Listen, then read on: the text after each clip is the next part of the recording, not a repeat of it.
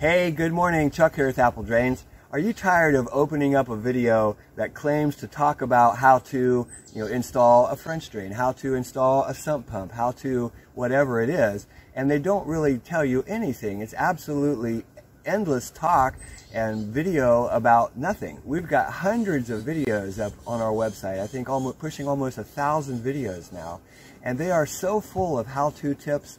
Uh, no one comes close. And it's, it's really funny to watch some of these other videos of these other contractors that claim that you know they know how to do all these things and they want to show you, but they don't show you. They actually just talk about how great their company is and how bad all the other companies are. um, anyways, we're going to start live help again Saturday mornings, uh, 10 a.m. Eastern time, and join in. Follow that description link in the description box below to get into the chat.